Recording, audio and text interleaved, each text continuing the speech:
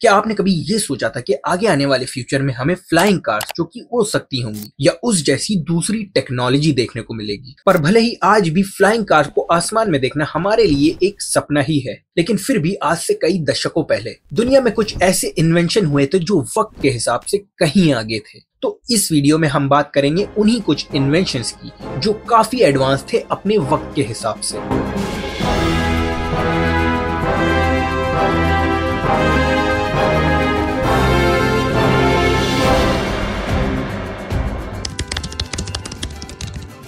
आसमान में उड़ना हमेशा से ही इंसानों का एक सपना रहा है, जिसके लिए वक्त के साथ साथ लोगों ने अलग अलग तरह की कोशिशें करी। लेकिन साल 1955 में यूएस आर्मी ने एक एयरक्राफ्ट लॉन्च किया था जो कि उड़ भी सकता था। इस एयरक्राफ्ट को यूएस आर्मी ने हिलर हेलीकॉप्टर नाम की हेलीकॉप्टर मैन्युफैक्चरिंग कंपनी के साथ मिलकर बनाया था। इसीलिए इस एयरक्राफ्ट को अपना नाम मिला Hiller V Z one Pawnee इस एयरक्राफ्ट को यूएस आर्मी ने अपनी मिलिट्री फैसिलिटी को और भी ज़्यादा एडवांस करने के लिए बनवाया था। वो भी 1950s के टाइम पर जब लोगों के पास कार होना भी एक काफ़ी बड़ी बात थी। ये एयरक्राफ्ट एक्चुअली में एक ही इंसान की फ़्लाइट के लिए डिज़ाइन किया गया था, जो कि मिलिट्री पर्सनल को एक जगह से दूसरी जगह पेट्रोलिंग के काम आता था, जिसको इस तरह डिज़ाइन किया गया था कि इसके नीचे एक रोटेटिंग फ़ैन लगा था। हिलर हेलीकॉप्टर ने इस एयरक्राफ्ट के तीन मॉडल डिज़ाइन किए थे।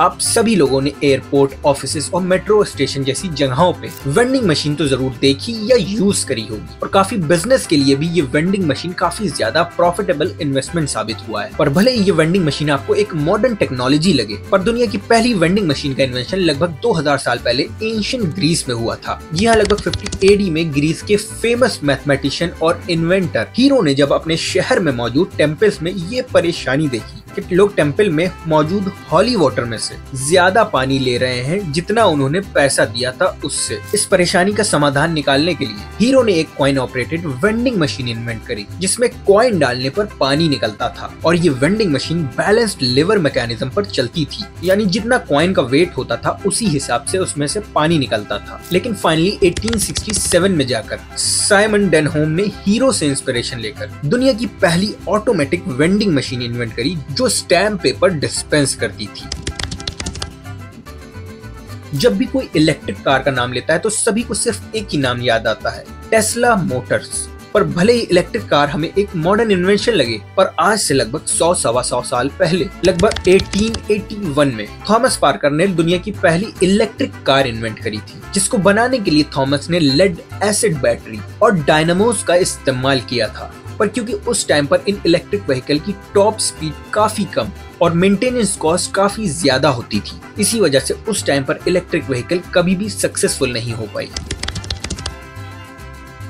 आप सभी लोगों ने दुबई में पानी में चलाने वाली कार को ड्राइव करते ज़रूर देखा होगा। पर भले ये फ़ेमस पानी में चलाने वाली फरारी आपको कार लगे, पर एक्चुअली में ये तो सिर्फ़ एक कार के शेप में बोट ही है। लेकिन आज से लगभग बासठ साल पहले एयर 1961 में वेस्ट जर्मनी में एम्फी कार मॉडल 770 लॉन्च हुई थी। और भले ये कार 1960s की हो, पर ये कार इतनी एडवांस थी कि ये रोड के साथ साथ पानी में भी चल सकती थी, जो इसे बनाती है इस लिस्ट की उन कार्स में से एक, जो अपने टाइम के हिसाब से कहीं आगे थी।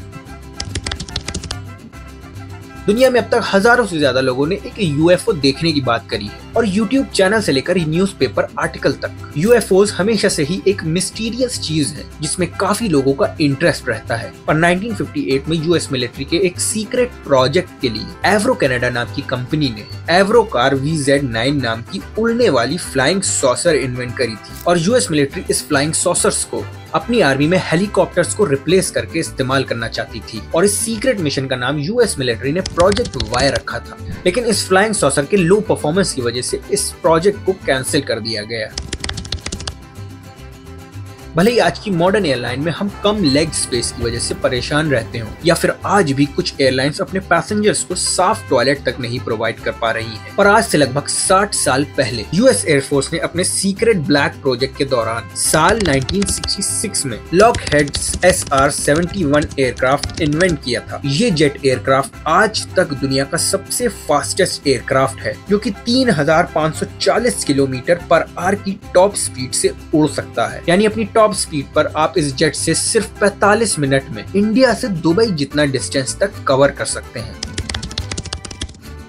आज की मॉडर्न लाइफस्टाइल में हम इलेक्ट्रिसिटी के बिना अपनी लाइफ सोच तक नहीं सकते। यहाँ तक इतनी तेज़ी से बढ़ते हुए इस स्मार्ट और टेक्नोलॉजिकल वर्ल्ड में इलेक्ट्रिसिटी सबसे ज़्यादा इम्पोर्टेंट चीज़ है। पर इलेक्ट्रिसिटी का इन्वेंशन मिड 1700 के टाइम पर ही हुआ था। इलेक्ट्रिसिटी के इन्वेंशन से पहले लोग सिर्फ़ कैंडल्स ऑयल लैम्प्स और दूसरी फायर की चीज़ों का इस्तेमाल करते थे अपनी जरूरतें पूरी करने के लिए। लेकिन हाल ही में कुछ आर्कियोलॉजिस्ट ने इराक से कुछ आर्टिफैक्ट ढूंढ निकाले, जिसमें से एक सेरामिक पॉट एक कॉपर ट्यूब और एक आयरन रॉड शामिल था, जिसके बाद इन आर्टिफैक्ट्स पर काफ़ी रिसर्च के बाद साइंटिस्ट इस कंक्लूजन पर पहुँचे कि ये आर्टिफैक्ट कुछ और नहीं, बल्कि एक एंशियंट बैटरी है, जिसका नाम रिसर्चर्स ने बगदाद बैटरी रखा। और तो और ये बैटरी लगभग 2000 साल पुरानी थी, जिसमें अगर लाइट एसिड यानी अगर विनेगर डाला जाए तो ये जार 1.1 वोल्ट तक करंट प्रोड्यूस करती है। अब सबसे बड़ा सवाल ये उठता है कि 2000 साल पहले आखिरकार एंशियंट सिविलाइजेशंस बैटरीज को किस इस्तेमाल में लेती थी? तो आपको ये वीडियो कैसी लगी?